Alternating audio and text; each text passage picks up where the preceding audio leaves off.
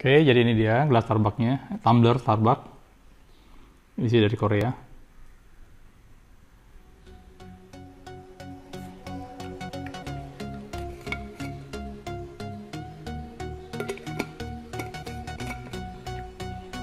Ini bisa diputar.